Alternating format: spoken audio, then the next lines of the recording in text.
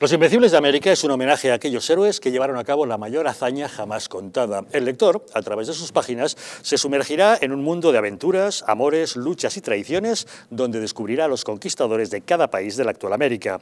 Conocerás la increíble gesta de Hernán Cortés, el arrojo de Francisco Pizarro, la gallardía de Hernando de Soto, la inteligencia de Malinche, la maldición de Moctezuma, la fortaleza de Cabeza de Vaca y el sueño del Dorado. Es un libro realmente interesante que puede usted solicitar a través de su página web www.elgrancapitanediciones.es. Es el mejor modo de descubrir cómo los españoles forjaron la mayor nación mestiza del mundo, Hispanoamérica. Y hoy queremos también hablarles de otro libro. Fíjense en lo curioso de su título, el por qué Cataluña no será independiente. La verdad es que entre los separatistas puede que esta aseveración no guste absolutamente nada, pero el libro está basado en hechos históricos y analiza pormenorizadamente el pasado y la evolución de todo el movimiento nacionalista en Cataluña para llegar a estas conclusiones, además de una manera bastante clara. Su autor, Isidre Cunill, es un periodista, autor ya de diversos libros. Don Isidre Cunill, muy buenas noches. Muy buenas noches. Bueno, permítame que la primera pregunta sea directa y tajante. ¿Usted es independentista? Sí. Bien. Sabiendo que es usted independentista, ¿no le da miedo, como le advierte Daniel Arasa justamente en el prólogo de su libro, de que le acaben llamando butiflé? Bueno, eh, a ver, se puede ser independentista, pero no tonto, ¿no? Creo. Entonces llega un momento que eh, tienes que analizar mucho las cosas no, el, quizá el, declararse independentista no tiene nada que ver con el declararse, eh, digamos al contrario, incluso antidependentista. Yo creo que se ha entrado en una fase en la que hay una serie de motivos que se están ocultando, una serie de vicios que se están llevando a cabo y que se está engañando a la gente. Entonces es lo que, desde un punto de vista, hasta los que nos consideramos independentistas dentro de la razón, pues eh, no podemos estar de acuerdo con, eh, eh, con, el proceso o el procés, como están diciendo, de la forma que se está llevando y que se están cometiendo los mismos errores históricos.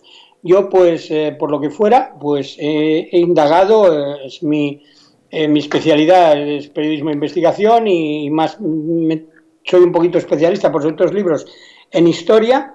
Entonces, si analizas la historia mm, muy al detalle, pues ves que los mismos hechos que se, que se llevaron a cabo en, en, el pasado se están cometiendo ahora los mismos errores y una vez tras otra. Entonces, mm, mientras esto no dure y esa, eh, ese fantasma que, que, sobrevuela el independentismo catalán, es imposible, es, mm, para decir, mm, quizá no decir imposible, pero es muy difícil muy difícil que Cataluña sea independiente. Por eso decimos el por qué. ¿Por qué dando razones? Cada uno que las analice a su manera. ¿no? Sí, ahora entraremos en las razones, señor Cunil. La verdad es que su libro me ha parecido muy interesante. Yo no soy independentista, pero respeto enormemente a quien quiera mm, adscribirse a, esa teoría o a esa postura. Lo que no me parece en absoluto razonable es que a mucha gente se la adoctrine en el mundo del independentismo utilizando mentiras, utilizando eh, una historia falsa inventada, una agiografía que no responde a la realidad o acusando al famoso Madrid nos roba, España nos roba y ahora nos mata o cosas por el estilo. Estoy completamente de acuerdo. Eh, yo una en el libro lo digo muy claramente que el, enemigo público del independentismo catalán precisamente no es España, eh, sin quitarle sus méritos. ¿eh? No es España el enemigo público número uno y, el, contra quien tiene que luchar. El enemigo público del número uno de Cataluña es el propio independentismo catalán.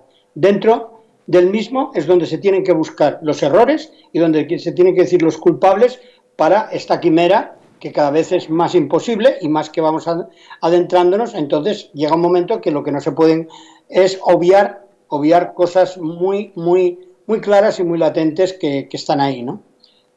Usted en su libro defiende que Cataluña nunca será independentista ni independiente justamente por culpa de ese independentismo al que achaca el problema de las tres Ds, desavenencias, discordia y desunión. ¿Es realmente las brechas internas que hay en el seno del mundo independentista el que hace incapaz que saquen adelante este proyecto? Estoy completamente convencido que sé yo. A ver, si hace unos años, en la época, en la época del, del pujolismo, donde el independentismo simplemente era pues un, como digo en el libro, ¿no? Era un disfraz que se tenía para las grandes ocasiones, y, pero una cosa mm, superflua que no que era más cara la galería y más folclórica y había eh, si se hicieran unas encuestas, entonces las encuestas que habían daba un 25%, con el se está dando cerca de un 50%, un 48%, un 49%, pero ese 49%, aunque fuera un 52%, no valdría para nada, porque el 52 hay que sumar y hay que estar todos de acuerdo a ir a una.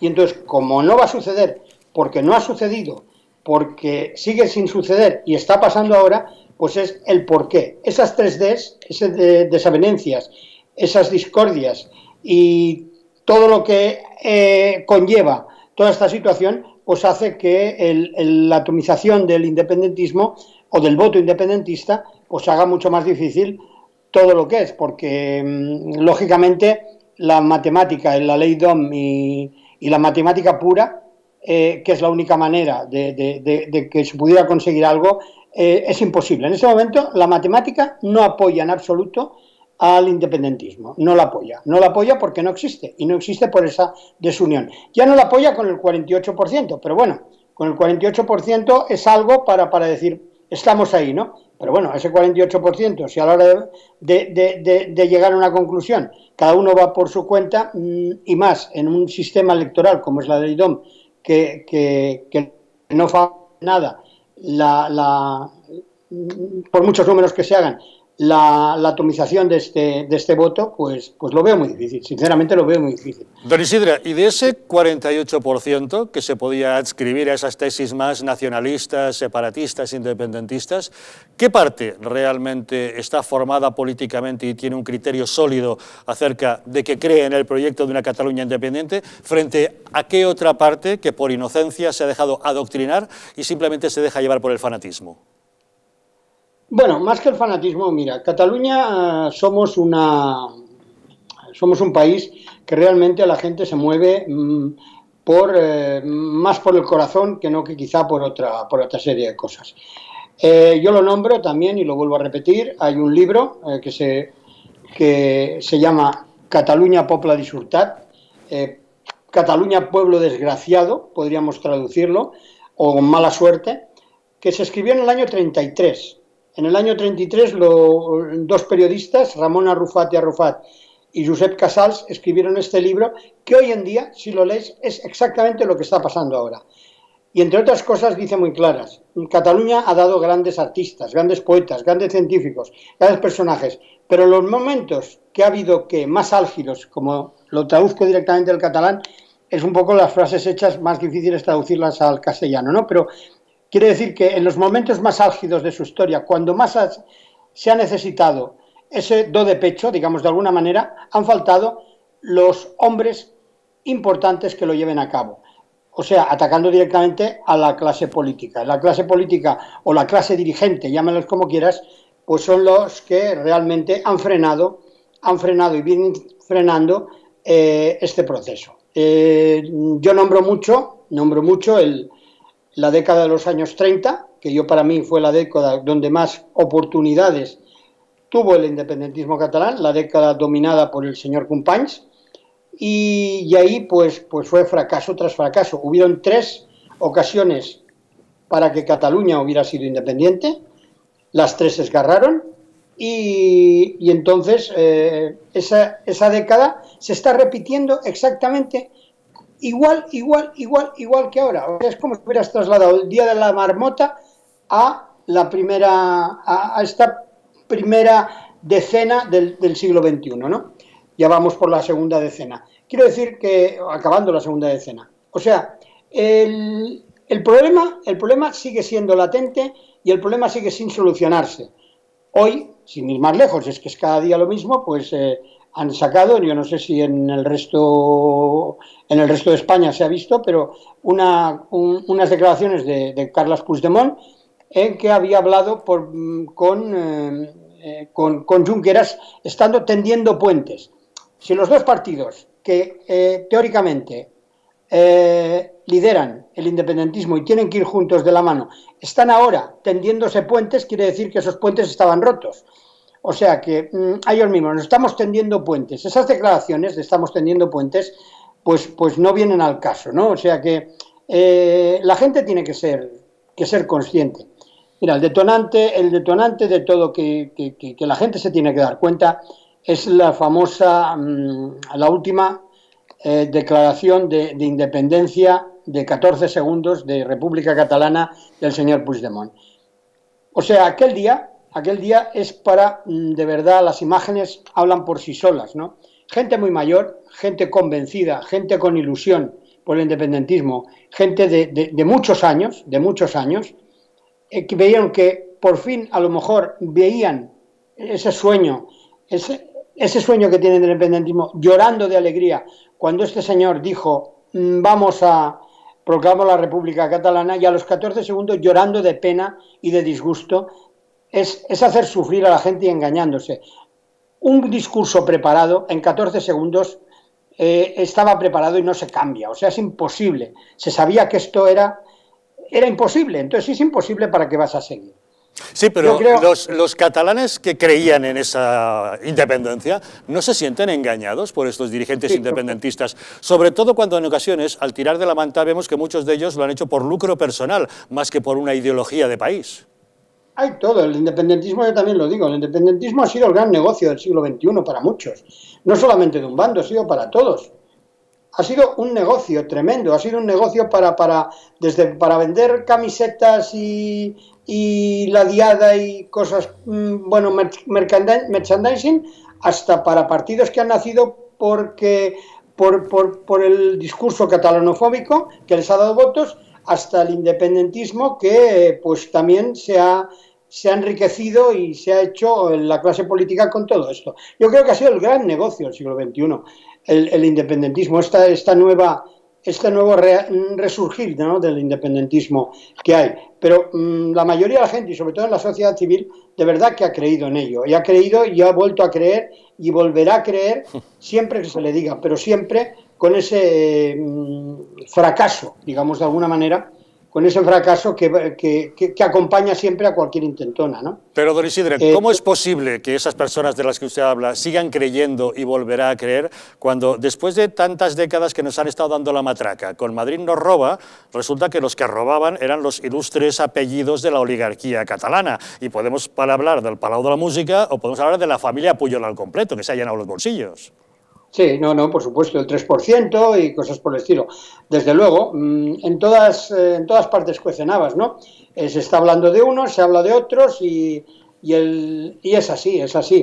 El, la prueba está en que, a ver, la llamada transición, pues, eh, claro, mm, ha sido mm, nula para el independentismo.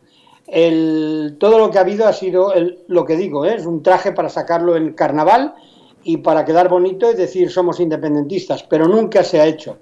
La, la coalición, digamos, CIU, pues eh, ha sido una coalición entre el señor Durán y el señor Pujol, y es el partido de Convergencia y Unión, pues ha sido un partido creado también para, para eso, para sí, pues han, han hecho todo lo que han hecho.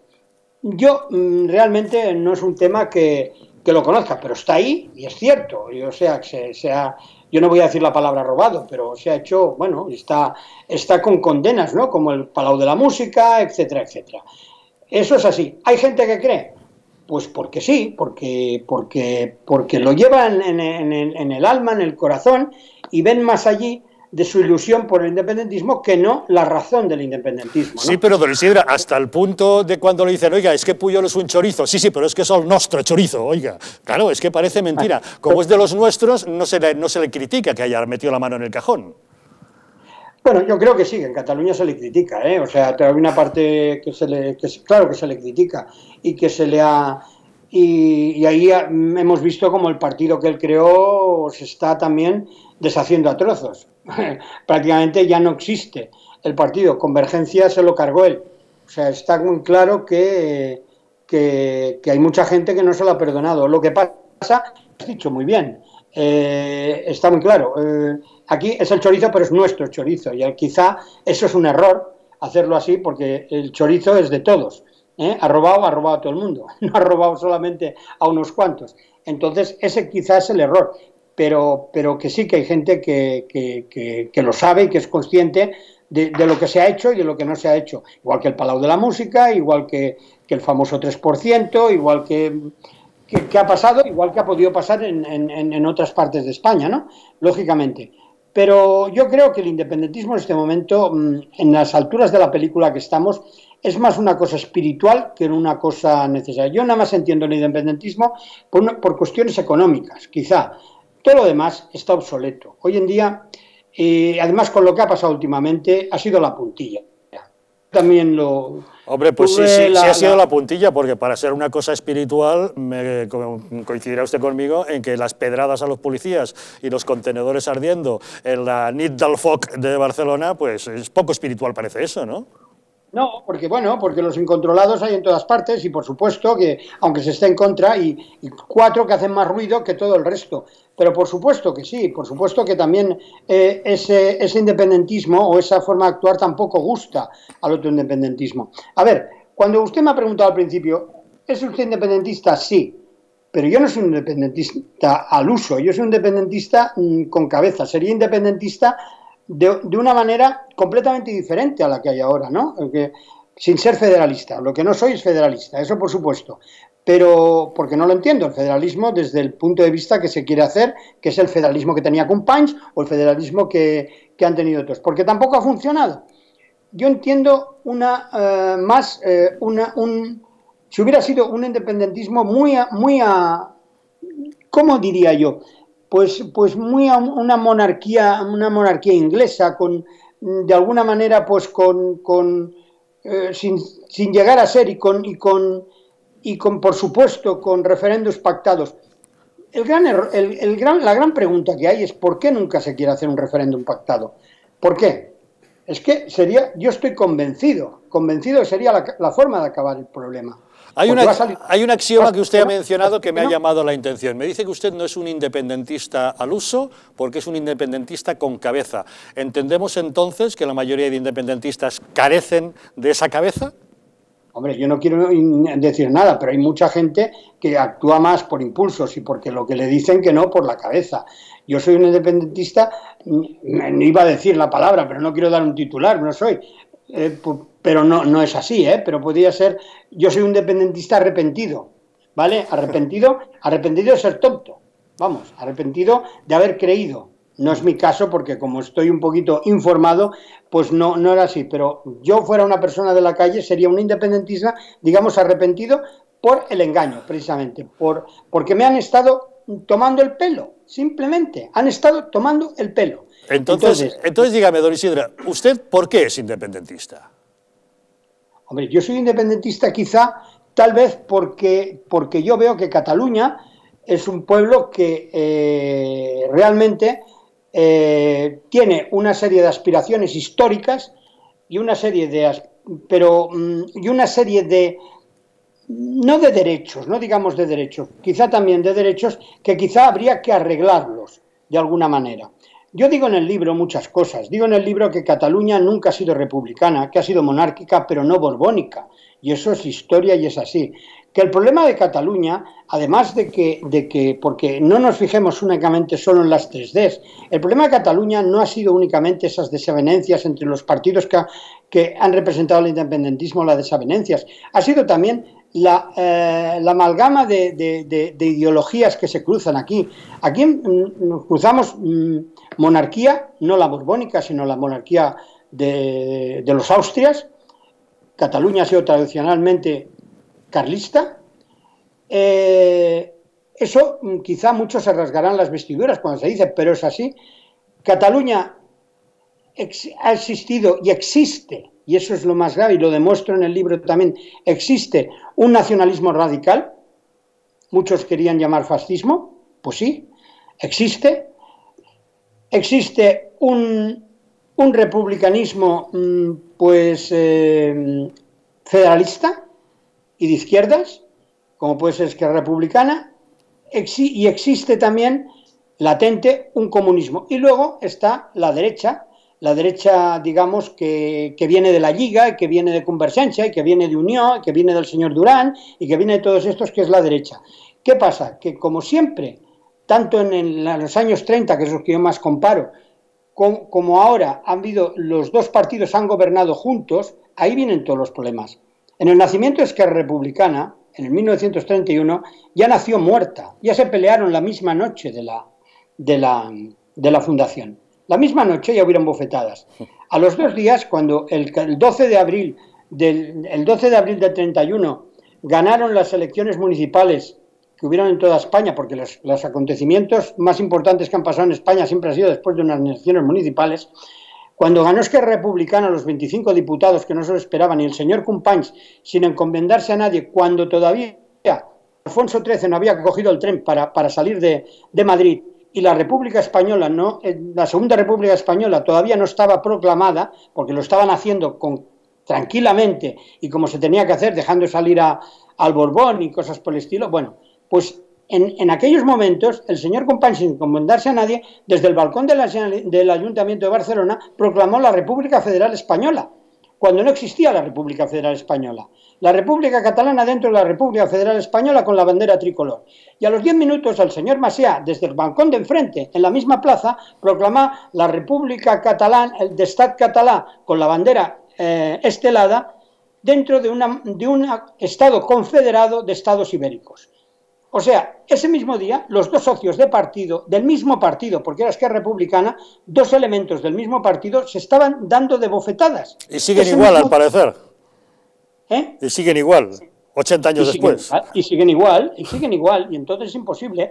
En el año, pues bueno, entonces el gobierno no funcionó nunca, porque luego estaban el, anarquismo, el anarquismo, no, no, no, no, no, no dudemos que el anarquismo está fundado en está fundado en, en, Barcelona, ¿no? La CNT y el, anarquismo ibérico y la FAI están fundados, están fundados aquí. Quiero decir que la fuerza que han tenido desde el pistolerismo ha sido muy importante y han actuado de la forma que actuar.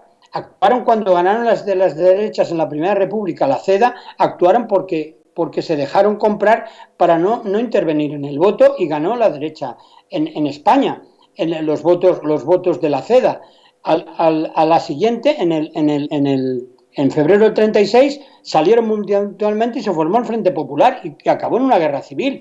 Quiero decir que ellos han estado en el, en el, en el, en el ahora hecho ayer, ayer precisamente, hizo 84 años de la batalla de Barcelona. La batalla de Barcelona se, se ganó gracias a dos, a, a, alarmar a los, a, los anarquistas y a la Guardia Civil, que se puso al lado de, de, de y la República y, y sofocaron el alzamiento. Pero sí, a partir de entonces, toda la, mm, toda la, ¿cómo se llama? Toda la maquinaria de la CNT aquí y la FAI montaron la revolución.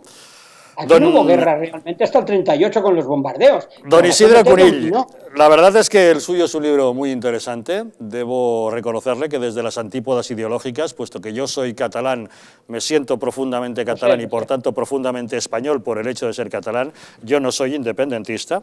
Le agradezco que usted, reconociéndose como tal, aunque después se haya autocalificado de arrepentido, haya tenido la valentía de escribir auténticas verdades acerca del proceso independentista, reconociendo que en ocasiones o en sectores hay adoctrinamiento, hay incluso fascismo e imposición en algunas ocasiones.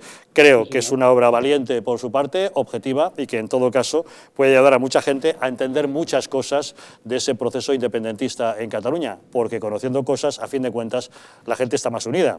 O sea que le doy la enhorabuena por este libro, el por qué Cataluña no será independiente, que a fin de cuentas usted defiende que es justamente por las divisiones que hay entre los propios independentistas. El propio independentismo es el enemigo número uno. Y cuando dices de lo de, independentista, eh, también me voy a calificar de otra cosa, arrepentido y no anti-español, que es otra historia. ¿eh? Pues eso le honra. hay muchos, ¿eh? ¿Eh? Eso le honra. Isidra Cunill, el por qué Cataluña no será independiente. El que, el que esté el de, de, de, las sanguíneas que levante que levante, el, tire la primera piedra. Sin lugar a dudas. es imposible. En España somos todos hermanos y muchos catalanes tienen familia en muchas otras regiones españolas. O sea que le agradecemos la aproximación histórica y el análisis que ha hecho en este libro. Isilda Curill, muchísimas gracias por habernos acompañado en Los Intocables. Un saludo a todos y muchas gracias. Un saludo, muchísimas gracias. Bueno, ¿algún eh, comentario? Eh, como veis, eh, en fin, los estudios que bien hechos, pues hay que considerarlos. Yo recuerdo en junio de 2011 cuando el señor, el molt untable presidente Mas intentaba entrar en el Parlamento de, Regional de Cataluña, que no podía porque estaba rodeado por los indignados y tuvo que entrar en helicóptero. Esos carteles que tenía la gente que estaba ahí, que ponían, por ejemplo, Aturem retalladas, perdón por mi mal catalán, Javier, igual... No, no, lo has dicho muy correctamente. bueno, pues es, lo que ponía. Paremos los recortes. Paremos los recortes, evidentemente, era cuando en los peores años de la crisis económica que empezó en 2008, gracias a la mala gestión del gobierno de Zapatero, del socialista Zapatero, la gente estaba harta porque veía que los políticos en Cataluña dedicaban ingentes cantidades de dinero a las estupideces nacionalistas a costa de recortar en sanidad, de recortar en educación, de recortar en el mantenimiento de los transportes de los eh, ferrocarriles de la Generalidad o del Metro de Barcelona, etcétera, etcétera, etcétera. Y entonces esta gentuza lo que se le ocurrió fue sacarse de la chistera otra vez el espantajo separatista y envolvérsela en la estelada, ya no en la señera, sino en la estelada, porque claro, si yo encarno la libertad del pueblo catalán, a ver quién va a tener narices de criticarme. Y con esa cortina de humo del independentismo empezaron a tapar toda su corruptela, todos sus trinques, todos sus despilfarros, toda su falta de capacidad de gestión de los servicios públicos de proximidad en Cataluña, que para eso es para lo que está un gobierno regional. Y esa es su razón de existir, el gestionar servicios públicos de proximidad como lo, eh, para los habitantes de esa, esa comunidad. prosopopeya de yo soy Cataluña, quien me ataca a mí, ataca a Cataluña, eso de volver las vergüenzas en la bandera catalana es algo que Jordi Pujol hizo desde el inicio con Banca Catalana y que se ha venido hasta nuestros días cuando Puigdemont, el fugado, dice que me persiguen porque yo soy Cataluña. Y ahora el juez de la Mata dice que todos los Puyolones son una organización criminal. Son una organización criminal. Eh, a mí me parece que este señor Isidro Cunil no es independentista. Bueno, se ha dicho independentista arrepentido porque me da la sensación de que, no es independentista. creía en ese independentismo ¿Eh? hasta darse cuenta que había sido engañado, ¿no? Ya, efectivamente. ¿eh? Pues que se lean el libro los independentistas y a ver si se caen del guindo como se ha caído él. Y bueno, en cuanto al, independentismo propiamente dicho, tan eh, bueno, pues que tanto daño nos ha hecho al conjunto de España y también y mucho más a la propia Cataluña. A la propia Cataluña que ha dividido a catalanes contra catalanes, efectivamente. Que, la convivencia entre ellos es eh, muy complicada, y que las familias han dejado de hablar, hay una tensión eh, muy desagradable en los trabajos, entre amigos, etc. Eh, bueno, pues mm, también hay muchos culpables, porque lo de Jordi Puyol se sabía desde hace mucho tiempo y hubo muchos que taparon sus vergüenzas, porque pensaban que era el mal menor. Y ya estamos otra vez con el mal menor. Y no, el mal menor eso, Ana, no hace solo eso, mucho daño. Sino porque si en el Congreso de los Diputados hacen falta partidos, volvemos a lo mismo de antes, para que te apoyen, pues eh, resulta que estos partidos regionales ponen la mano y hacen exigencias. Pero ellos consideraban que Jordi Puyol era un hombre de Estado, que tenía mucho, mucho seni, pues que tenía mucho, mucha pues cabeza, que, él iba a conseguir mantener ese equilibrio y, y y no querían ver la realidad. Porque es que él lo dijo, él lo dijo. Y mantuvo las apariencias de ese equilibrio mientras por debajo iba infectando toda la sociedad de ese separatismo que en algún momento eclosionaría y fue ya con Artur Mas, efectivamente. Con la educación que le cedieron, eh, bueno, los, medios de comunicación. Le dieron un premio, yo no recuerdo si... si no sé si español del año, lo hizo el diario ABC. Español del año, español del año. Y con todo eso, yo lo que creo es que se lo querían atraer o sea, le querían pelotear. Eran tiempos en los que se le peloteaba porque garantizaba la gobernabilidad de España con su apoyo. Claro, y, y, es, al final... el eufemismo que se utilizó entonces. Pero eso es una visión cortoplacista, cortoplacista. Y todo lo que se hace mirando al corto plazo... Eh, a lo mejor te soluciona el problema de pasado mañana, pero te deja un embolado para, para, para el futuro. Y eso es lo que ha pasado en España, que hemos sido muy de ir apagando fuegos o de ir resolviendo la papeleta eh, pues para la legislatura, para el año que viene, para el presupuesto, para el no sé qué, sin una visión de alcance. Y, considerando a unas personas que son desaprensivos, mm, dándoles pues la categoría de personas honestas. Eh, yo, yo creo que mm, el problema es que se ha dado una sobrerepresentación al nacionalismo desde el 78 aquí. Siempre se decía en el año 78 que los nacionalistas que habían en Barcelona cabían en un taxi y sobraba sitio. El problema es que se hizo con buena intención el, darles una cabida creyendo que se iban a limitar o que se iban a comportar de forma honesta y luego no lo hicieron. y ahora tenemos lo que tenemos. En fin, mascarillas. Después de la decisión de la Comunidad Valenciana de hacer su uso también obligatorio, el uso de la mascarilla es obligatorio con pena de multa en toda España, salvo en dos comunidades, en la Comunidad de Madrid y en la Comunidad Canaria. Hacemos una pequeña pausa y les contamos esta decisión en Valencia y qué es lo que están discutiendo allí.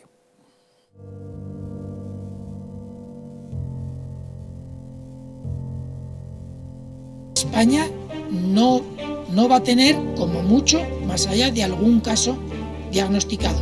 ¿Qué le diría usted a una mujer que está dudando en ir o no a la manifestación del 8 de marzo? ¿Qué le diría? Que le va la vida, que le va su vida. Y el motivo es el miedo. No hay una razón médico-sanitaria. Y que no hay ninguna razón de salud pública que aconseje tomar ninguna medida o que impida la celebración de eventos de este tipo. Denunciábamos que los medios estábamos siendo demasiado alarmistas con el coronavirus. ¡Vamos a morir todos! ¡Estefanía! ¡Estefanía! ¡Gritad Estefanía! No hay nada de qué preocuparse, estamos muy tranquilos, ¿vale? El gobierno estaba perfectamente al corriente de los datos que tiene ahora desde el pasado día 4, pero no quiso tomar medidas justamente para no deslucir esa manifestación.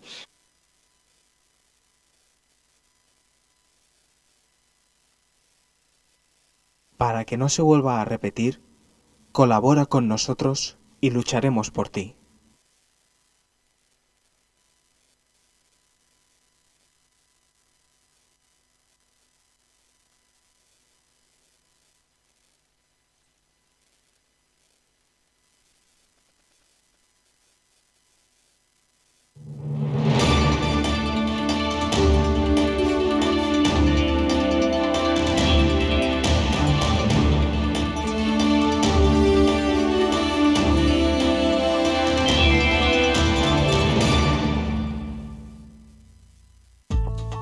Presencia del colágeno en la composición de huesos, piel, ligamentos, cartílagos y tendones es imprescindible para frenar su deterioro. Sin embargo, a medida que envejecemos, su producción se reduce. Colacel Antiox de Mundo Natural combina en una misma toma colágeno hidrolizado puro, antioxidantes, ácido hialurónico y vitamina C que contribuye a la formación normal de colágeno. Haz del tiempo tu gran aliado. Colacel Antiox. España ha sido arruinada por políticos sin escrúpulos y medios de comunicación vendidos al poder. Es la hora de defender nuestra nación, porque la verdadera libertad consiste en estar bien informado, hazte miembro del Club Patriótico del Distrito. Dependiendo del nivel, podrás tener acceso a contenidos exclusivos y conocer a nuestros presentadores y colaboradores. Y por último, podrás convertirte en un auténtico contertulio de los intocables y acompañarnos en nuestra comida semestral de amigos. Nosotros invitamos. Únete al Club Patriótico del Distrito, la televisión de la resistencia. En patreon.com barra distrito TV o llamando al 913-719-167. Un estilo de vida saludable, la dieta y el ejercicio físico ayudan a disminuir los niveles de colesterol. Divecol Forte de Mundo Natural contiene cardo mariano, coenzima Q10 y levadura de arroz rojo que aporta 10 miligramos de monacolina K que contribuye a mantener niveles normales de colesterol sanguíneo. Protege tu corazón, protege tu salud. Divecol Forte de Mundo Natural.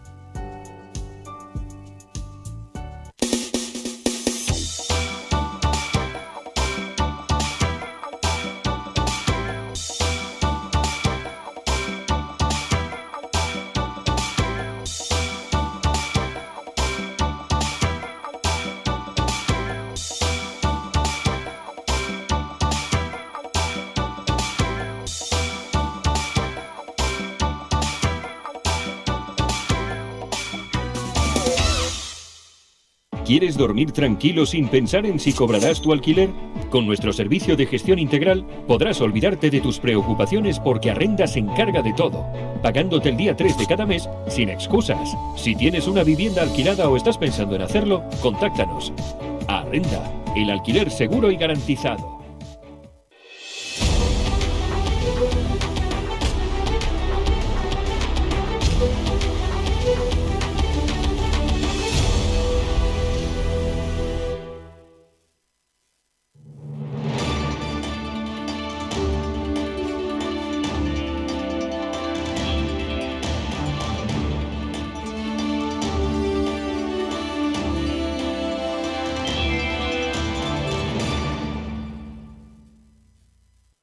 El principal riesgo de tener alto el colesterol son las enfermedades cardiovasculares. Existen diversos factores que pueden influir a la hora de padecerlas. Algunos no son modificables como nuestra edad o los antecedentes familiares, pero hay otros sobre los cuales podemos actuar si mantenemos una dieta y un estilo de vida saludables y realizamos ejercicio físico con regularidad.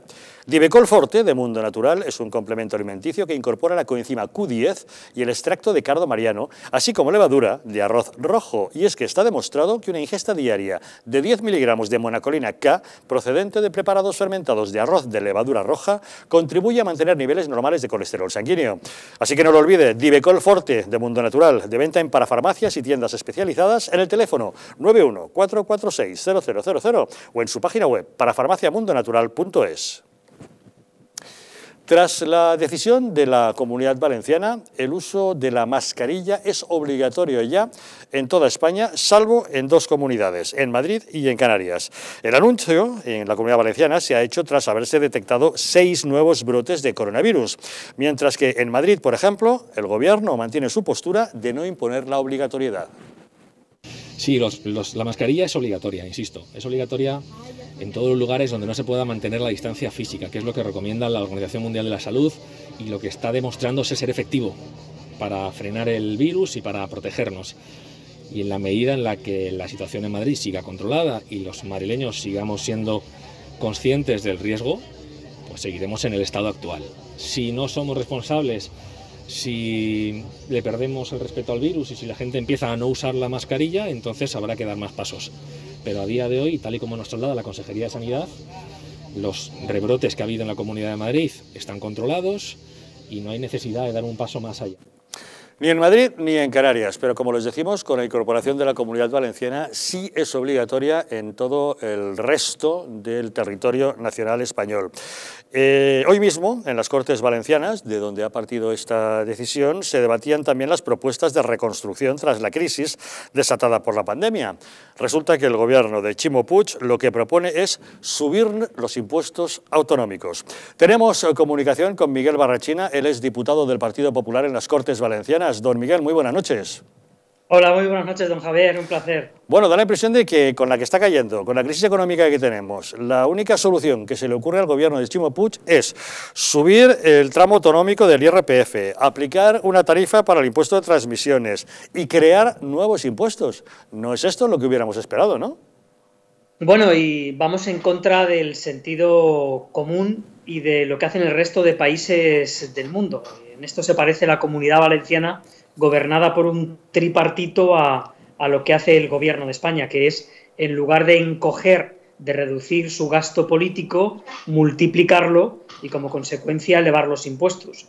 Eh, eh, de hecho, eh, ya la comunidad valenciana, en comparación con, con probablemente la región puntera en crecimiento de España, que es la Comunidad de Madrid, las cinco figuras tributarias, los cinco impuestos sobre los que regula, están mucho más elevados que la Comunidad de Madrid. Algunos son incluso el doble y otros, como, en Madrid y, recientemente en Andalucía, ni siquiera existen, como el impuesto de sucesiones o el impuesto de patrimonio. Y por tanto, tomar esa decisión va a ser profundizar en la crisis. Dese cuenta que, que Alemania, Italia, incluso Portugal han anunciado bajadas de impuestos y la economía naturalmente ha reaccionado bien, eh, pero incluso Estados Unidos el, último mes, el mes de junio, creó 4.700.000 empleos y en los dos últimos meses más de 7 millones de empleos nuevos. Y el virus, don Javier, es el mismo en todas partes. La diferencia es cómo lo gestiones. Y aquí el hecho de anunciar subidas de impuestos pues va a suponer un freno adicional a la ya alicaída a la ya alicaída economía y en concreto efectivamente el propuesto el texto escrito que han, que han propuesto supone elevar el impuesto de la renta, que ya en Comunidad Valenciana es cinco puntos superior al de la Comunidad de Madrid, por ejemplo, elevar el impuesto de transmisiones patrimoniales, eh, que es el impuesto de transmisiones patrimoniales, es el que se paga cuando compras, eh, cuando compras una vivienda, eh, y también crear nuevos impuestos aún sin determinar. Sí, eso, vamos a ver, por si no fuera suficiente con subir los impuestos que ya existen, encima nos amenazan con inventarse impuestos nuevos argumentando que van a ser impuestos verdes, ¿no? Sí, efectivamente, es la excusa. De hecho, impuestos verdes ya existen. Todo el impuesto especial de hidrocarburos es un impuesto verde. Otra cosa es que te lo quieras gastar creando vicepresidencias o dedicarlo a cuestiones ambientales. Pero de hecho en España ya existen. Vamos, esta formulación se descubrió hace, hace décadas, eh, pero es eh, completamente inoportuno. Eh, aquí lo que hemos pedido y lo que hemos reiterado y lo que parece lógico es que, hombre, en lugar de tener 330 330 altos cargos y asesores eh, eh, de Chimo Puig, pues lo reduzcas. Y si de esta crisis, eh, don Javier, salimos con el doble de parados, que el número de altos cargos y asesores sea la mitad. O que suprimas la Oficina de Control Lingüístico o APUNT, que tiene 550 periodistas, o la oficina esta que han creado de memoria histórica, cuando justamente la memoria histórica reciente y el número de víctimas tratas eh, del coronavirus, tratas de ocultarlo y por tanto es ir en contra de los tiempos. Y desgraciadamente eh, vamos a profundizar en una crisis eh, que va a tener difícil remedio, sobre todo cuando te comparas en el espacio con el resto de países o en el tiempo. España creció cuando suprimió y cuando redujo organismos públicos inservibles y cuando menguó impuestos y decreció al revés. Y por tanto es tanto en el espacio como en el tiempo. Es ir en contra del sentido común. Señor Barrachina, me da la impresión de que el gobierno que tienen en la Comunidad Valenciana es fiel reflejo del que tenemos en el gobierno de la nación, con la que está cayendo, con el paro que se está generando, con el hundimiento de las empresas, medidas para ayudar a los empresarios nada y en cambio para hundir, hundir a la clase media todo, subida de impuestos en vez de andar reduciendo peso del Estado, ¿no? Sí, y, luego la justificación que utilizan es completamente falsa. Hablan de que España ha de subir los impuestos al nivel de Europa, no es verdad. Es España ya tiene unos impuestos superiores a la media europea si tienes en cuenta nuestro nivel. En Europa no existe la doble imposición del impuesto de patrimonio que tienes que pagar cada año, excepto en Madrid eh, y en Andalucía, que tienes que pagar cada año de lo que ya has venido pagando año a año cuando creas, cuando generas la riqueza, cuando creas la renta, ni del impuesto de sucesiones por, por, el fallecimiento de tus padres. Esa doble imposición de aquello que ya pagaste no existe en Europa, existe aquí y desgraciadamente el objetivo es eh, multiplicarlo. En España lo que es verdad es que los impuestos lo pagan clases medias y aquellos más pudientes porque felizmente, y aquello fue un acierto, aquellos que no alcanzan los eh euros de renta, eh, porque, porque es una renta muy escasa y por tanto está muy concentrada en clases medias y altas debido a que hay una tasa de paro tan elevada que deja fuera de la tributación a buena parte de, a buena parte de españoles. Pero con el paro que tenemos, nuestra presión fiscal es más que suficiente y por tanto lo que van a hacer, como en la última etapa de Rodríguez Zapatero, es ponerle un peso gigante de administración sobre un sector público, un sector privado menguante que va a acabar por inmovilizarlo, por paralizarlo. De hecho, uno de los impuestos que quieren, que quieren subir, el de transmisiones patrimoniales, cuando alguien compra una vivienda usada, en la comunidad valenciana es ya del 10% y en Madrid es el 6%. Y el objetivo es aumentarlo. Claro, aquí todo el mundo se marcha a Madrid y la gente se pregunta por qué. Pues cuando tienes menos impuestos, cuando hay flexibilidad horaria, cuando te permiten abrir un comercio en sábado o en domingo o cuando te apetezca y además te ponen menos trabas, la semana pasada se aprobó aquí que el gobierno puede interferir una compraventa privada de viviendas durante dos meses por si le apetece a él comprarla. Eh, por tanto, cuantas más trabas tienes, eh, más impuestos y menor flexibilidad, pues naturalmente la economía se resiente enormemente, don Javier. Pues estamos apañados. Si ya teníamos una grave crisis a causa de la pandemia, los males son todavía peores a causa de los gobiernos que tenemos, en el de la Nación y en el de la Comunidad Valenciana. Don Miguel Barrachina, diputado del Partido Popular en las Cortes Valencianas, muchas gracias como siempre por acompañarnos en Los Intocables. Pues un placer y hasta dentro de muy pronto, si Dios quiere, don Javier. Hasta una próxima ocasión. ¿Algún comentario? Que es inaceptable que este señor, el Chimo Puig, se permita eh, recurrir otra vez a la mandanga de los impuestos verdes, cuando por otra parte lo mejor para, en fin, para cuidar el medio ambiente no es poner impuestos a las empresas con la excusa medioambiental. Lo mejor es habilitar eh, o estimular que las empresas renueven sus bienes de equipo para ser menos contaminantes eh, produciendo la misma cantidad de bienes y servicios. Esa es la clave. Pero claro, eso, sería, eso supondría enmendar toda la trayectoria que se ha hecho hasta ahora, por ejemplo, con el protocolo de Kioto, que no es más que pagar por emitir CO2. Y si no tienes eh, esos derechos de emisión de CO2, te obligan a comprárselos a otros países. Cuando en realidad no haces más que crear un mercado enorme, una burbuja, nunca mejor dicho, por el mero hecho de emitir CO2, en lugar de dedicar ese dinero a renovar bienes de equipo, a renovar eh, maquinaria de producción para eh, que sea una maquinaria más eficiente, que consuma menos energía y que por tanto emita menos CO2. Y por un medio de la renovación de los bienes de equipo, de los medios de producción, entonces sí que se hacen cosas eficientes. Pero que yo sepa, el CO2 emitido pagando no es menos dañino para el medio ambiente que el CO2 emitido sin pagar. Pero a ellos les viene muy bien el dinerito que te Es una excusa para recaudar, sí, como todo impuesto. Claro. A mí me ha impresionado muchísimo lo que ha comentado de, que la comunidad valenciana tiene dos meses para decidir si interfiere en un proceso de compraventa privado de vivienda por si se quiere quedar él con la vivienda. Esto es un intervencionismo absolutamente fuera de lugar. Inconcebible. Pero eso lo, habrán recurrido ya al Constitucional, supongo, ¿no? Porque eso es inconstitucional. Bueno, es que, es que al final esto de que, de que la ley es igual para todos y que todos los españoles somos iguales ante la ley, es una mentira como la copa de un pino. O sea, y, esta, y las autonomías están desbocadas, completamente desbocadas, y hay que, hay que racionalizar eh, este sistema eh, de, legislaciones que tenemos, que es bueno, que es que las empresas cuando quieren expandirse por España tienen que contratar a un despacho especializado de abogados para que investiguen las múltiples legislaciones que hay en cada comunidad. Así es, parece mentira, ¿verdad? Para, efectivamente, es que es un disparate, un auténtico disparate, y hay que pararlo ya. Y mm. además esto también es, es dinero es dinero malgastado.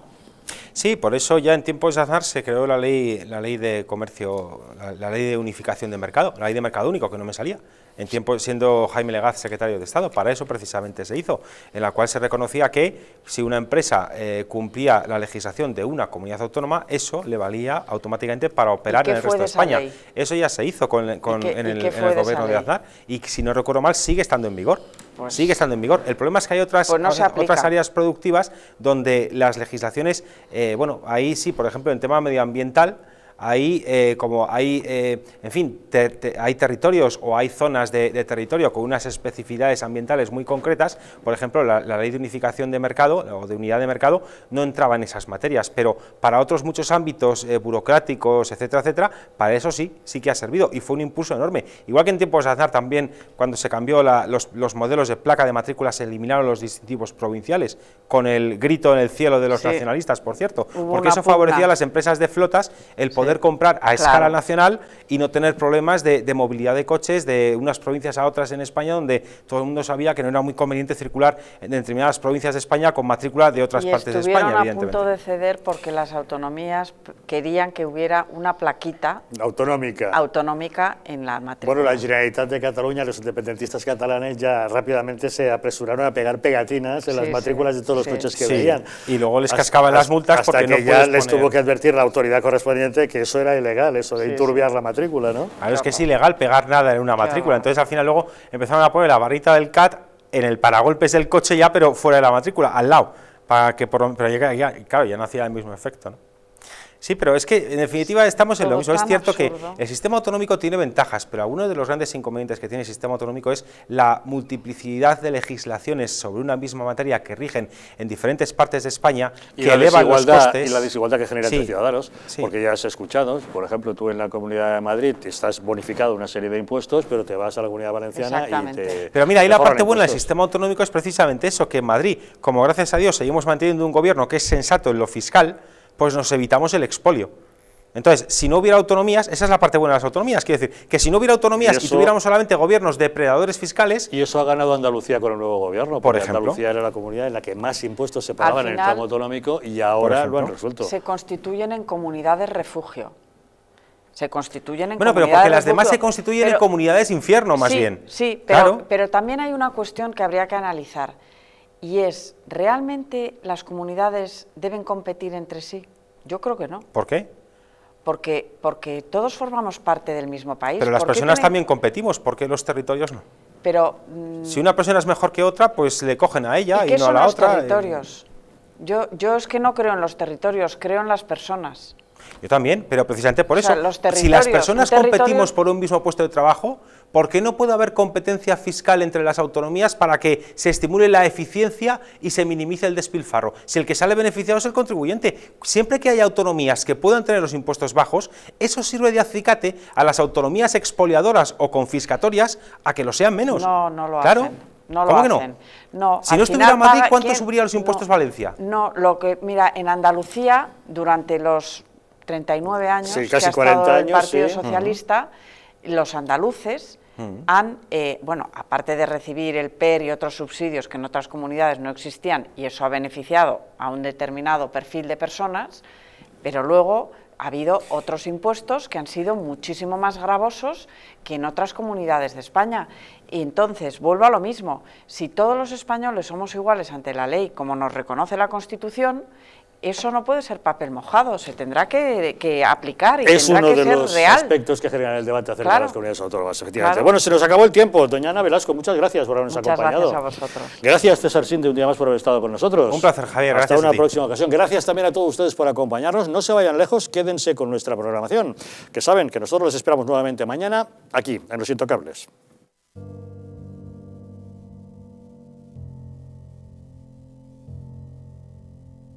España no, no va a tener, como mucho, más allá de algún caso diagnosticado. ¿Qué le diría usted a una mujer que está dudando en ir o no a la manifestación del 8 de marzo? ¿Qué le diría? Que le va la vida, que le va su vida. Y el motivo es el miedo. No hay una razón médico-sanitaria. y que no hay ninguna razón de salud pública que aconseje tomar ninguna medida o que impida la celebración de eventos de este tipo. Denunciábamos que los medios estábamos siendo demasiado alarmistas con el coronavirus. ¡Vamos a morir todos! ¡Estefanía! ¡Estefanía! Gritad Estefanía. No hay nada de qué preocuparse, estamos muy tranquilos, ¿vale? El gobierno estaba perfectamente al corriente de los datos que tiene ahora desde el pasado día 4, pero no quiso tomar medidas justamente para no deslucir esa manifestación.